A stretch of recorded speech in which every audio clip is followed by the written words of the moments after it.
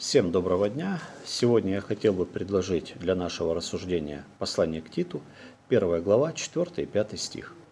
Титу, истинному сыну по общей вере, благодать, милость и мир от Бога Отца и Господа Иисуса Христа, Спасителя нашего. Для того я оставил тебя в Крите, чтобы ты довершил недоконченное и поставил по всем городам пресвитеров, как я тебе приказывал. Мы не так часто обращаемся к посланию к Титу, потому что оно достаточно специфичное, его еще называют пасторским. Оно, может быть, не содержит в себе таких основополагающих э, всеобщих доктрин христианства, как послание к римлянам или к Коринфянам, например. Э, оно такое личное, да, может быть, даже деловое, иногда даже может показаться нам жесткое послание. Например, вот пятый стих. «Для того я оставил тебя в Крите», так вот, знаете, без обиняков – Павел сразу переходит э, к таким э, служебным, можно так сказать, директивам, вопросам. То есть есть часть э, в этом начале Павлова письма такая официальная, которая, ну скажем, присуща или кочует из одного послания в другое. В четвертом стихе «Благодать, милость и мир от Бога Отца и Господа Иисуса Христа». То есть это выражение, высказывание, приветствие, оно где-то в том или ином виде присутствует во всех Павловых посланиях. Э, и сразу же после этого э, такого официального приветствия, да, э, характерного Павлова, он сразу переходит к делу. Без обиняков, без э, расшаркиваний таких, да, без подготовительных, располагающих к себе фраз, э, он сразу переходит к э, разбору, так скажем, служебной информации, к э, планерке, да, как это бывает на производстве или на предприятии между коллегами, да, когда они собираются и они э, без долгих э, вступительных слов э, сразу же начинают э, деловую, так скажем, часть своего общения. И здесь Павел достаточно жестко в таком директивном э, виде, в такой форме приказа э, напоминает своему коллеге, своему, скажем так, подчиненному, для чего вообще я тебя оставил на этом острове? То есть не забывай, зачем ты там вообще сидишь, чтобы ты довершил недоконченное и поставил по всем городам пресвитеров, как я тебе приказывал. То есть это как приказ по предприятию, знаете, э, распоряжение такое руководителя своему подчиненному. Э, поэтому, может быть, мы не так часто смотрим в это послание, э, может быть, оно нам э, неинтересно с точки зрения вот этих ну, основополагающих и вдохновляющих доктрин христианства. Может быть, мы не очень-то любим слушать жесткие приказы, да, директивы, указания – нам больше по душе что-то такое э, мягкое, э, вдохновляющее нас, э, ободряющее. Приказы никто не хочет слушать, а тем более выполнять. Вот. Но сегодня я хотел бы поговорить о таком интересном, на мой взгляд, моменте, как евангелизационная стратегия Павла. Евангелизационная стратегия Павла. Вы скажете, ну какая же может быть стратегия евангелизационная? Есть великое поручение. Идите, научите все народы, уча их соблюдать все, что я повелел вам. Да? То есть все просто. Идите и говорите людям о Христе. Да, с одной стороны так. Но когда Христос э, провозгласил свое великое поручение, вот этот, можно сказать так, лозунг, да, такой всеобщий, он э, конкретику э, не сильно обозначил. Да, уча их соблюдать, да, крестя их, но он не сильно обозначил конкретику, а каким образом, да, или каким методом вам нужно исполнять это великое поручение.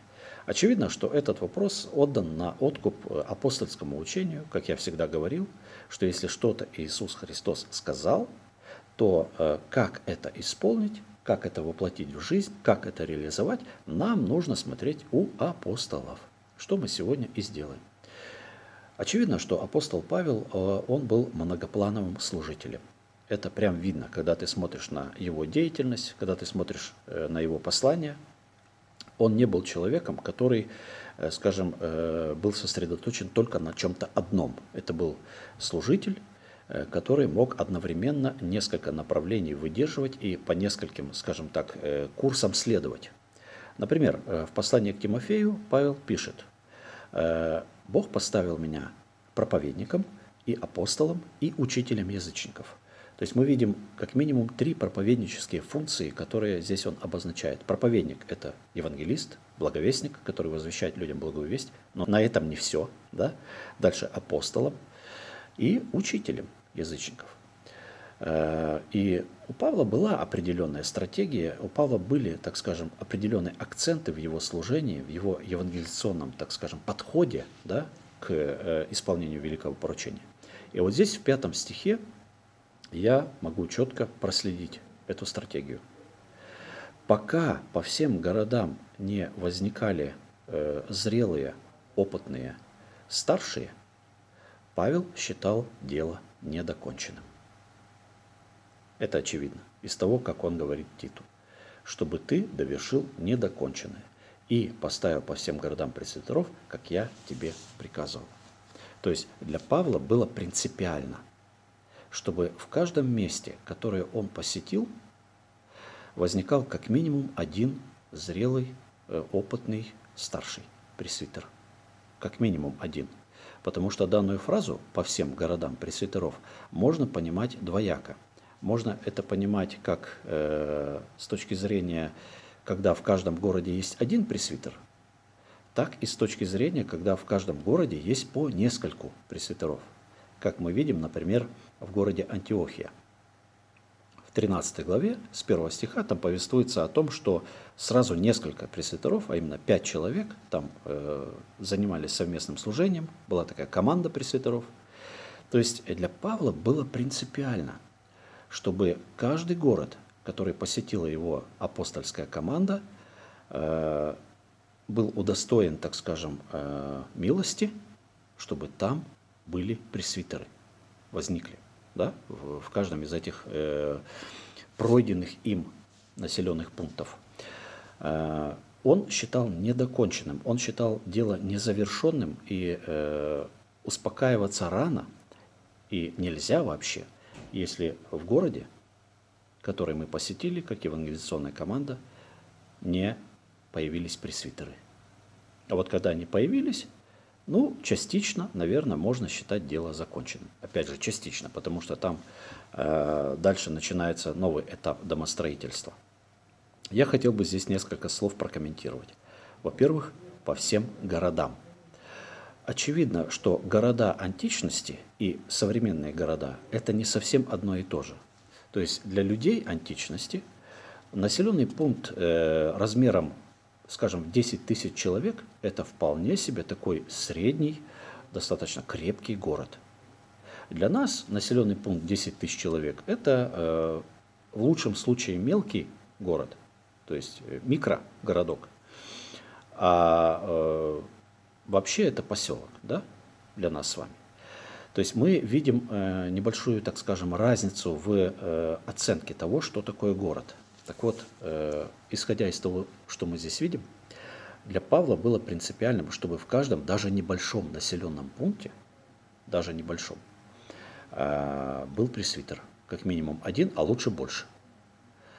Имеется в виду какие-то ключевые населенные пункты. Я так думаю. По всем городам вот эта фраза подразумевает, э, что Павел имел в виду какие-то ключевые населенные пункты. То есть вот на острове Крит – там было много разных э, селений. Да? Э, мы можем вспомнить из книги Деяний, значит, по-моему, хорошие пристани, как-то так назывался населенный пункт. Да? Потом Лосея какая-то вот тоже упоминается. Э, может быть, там были, э, значит, и э, крупные города. Ну, я сомневаюсь в этом. Все-таки Крит – остров – и э, живя на острове, я могу сказать э, следующее, что э, здесь размеры населенных пунктов, э, они э, меньше, чем на материке, и э, средний город, например, здесь на Сахалине у нас, это 30 тысяч человек населения. Такой город в материковой части России считается ну, маленьким. Здесь это считается достаточно средним городом. То есть, э, комментируя фразу Павла по всем городам, я хотел бы сказать, что имеется в виду не размер, а ключевое значение населенных пунктов. Для Павла было принципиальным, чтобы в ключевых населенных пунктах, которые определяют, э, скажем так, политику, экономику ну, региона, местности, были пресвитеры. Он считал, что успокаиваться рано, успокаиваться нельзя до тех пор, пока такие пресвитеры там не появятся. Конечно, мы можем э, списать все это на вот эту феноменальную способность или благодать, которая была в служении Павла, на его даровитость, да, и сказать, ну, Павлу было легко так говорить, потому что он был одаренным, потому что он э, имел способность в течение нескольких месяцев, я вот исследовал книгу Деяний, в течение буквально нескольких месяцев с нуля, когда в той или иной местности абсолютно нет никаких верующих, поднять небольшую общину с пресвитером во главе. Да, мы можем, конечно, списать это на даровитость Павла. Но разве вот эта даровитость Павла, конкретно его, да, специфичная, она отменяет стратегию евангелизационную? Не отменяет. До тех пор, пока мы э, в ключевых населенных пунктах нашей местности, где мы живем, не увидим пресвитеров, нам нельзя успокаиваться. Нам нужно продолжать молиться, обращать на это внимание и э, ратовать об этом. Держать это в поле своего зрения духовного, да? Э, прося Господа, чтобы Он выслал делателей на жатву свою. Потому что делателей мало. Катастрофический кадровый голод – это факт, это э, то, что видим э, даже мы, э, скажем так, не большого ранга верующие, простые верующие по местам, мы понимаем, что э, в церкви современной, не только у нас здесь на острове, а вообще в России и в мире, наверное, но в России мы говорим сейчас о России, э, катастрофический кадровый голод. Делателей мало, реально мало. Э, когда смотришь на ключевые населенные пункты нашей местности, например, здесь на юге острова, э, ну, ты понимаешь, что э, ну, нет этих пресвитеров. Их просто нет. А раз их нет, значит мы э, должны считать это недоконченным, и нам нельзя успокаиваться. Если мы э, принимаем участие в великом поручении Иисуса Христа, то нам нужно как минимум об этом молиться, как минимум на это обращать внимание и как минимум об этом говорить. Э, а лучше, конечно, и двигаться в сторону этих населенных пунктов. Но здесь я хотел бы очень важный момент подчеркнуть. Я не бросаю камушек в огород тех людей, абсолютно не критикую сейчас тех людей, которые приезжают с евангелизацией в населенный пункт, раздают литературу, э, проводят какие-то мероприятия. Э, у нас даже тут на острове, я слышу, такой термин иногда используют. Мы поехали пошуметь. Да? Я слышу от братьев такое словосочетание. Мы съездили и пошумели. Да, я сейчас абсолютно не критикую, я сейчас не смеюсь над этим и не пытаюсь э, сказать, что я лучше знаю что-то. Нет.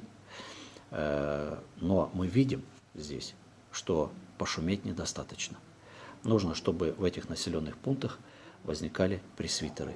Почему это так принципиально важно? Дело в том, что по опыту, моему вот личному опыту, я могу сказать, что появление в таких ключевых населенных пунктах э, людей, более-менее зрелых, опытных.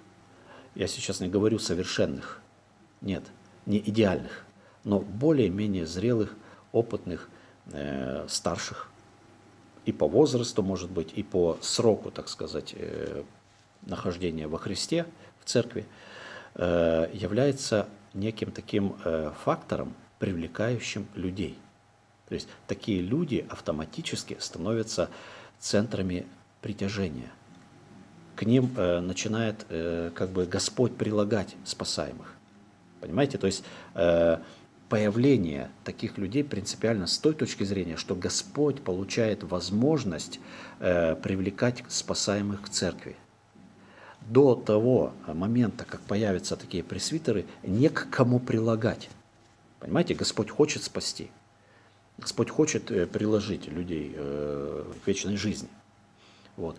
А не к кому.